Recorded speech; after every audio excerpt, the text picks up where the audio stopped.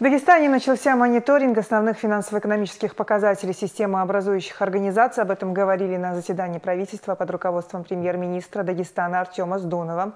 Так, по словам э, министра экономики и территориального развития, создан перечень таких организаций, ведь именно они оказывают существенное влияние на занятость населения и социальную стабильность в республике. Он включает 48 организаций, где работают почти 25 тысяч человек. В основном это промышленные и транспортные предприятия. Кроме того, предложено добавить в перечень объекты туризма и крупные торговые сети. Также отмечена необходимость определения системы образующих предприятий предприятий, которые можно запустить с соблюдением всех необходимых требований по недопущению распространения новой коронавирусной инфекции.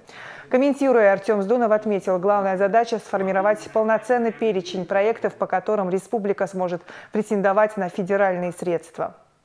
Я поддерживаю. Вот в этом э, перечне, который э, Гаджи Русланович дал, обязательно должен появиться блок э, женщин коммунального хозяйства. Во-первых, мы их и масками должны обеспечивать, как минимум, да, как минимум расходными материалами, обработки. И потом это те люди, которые свою деятельность не приостановили,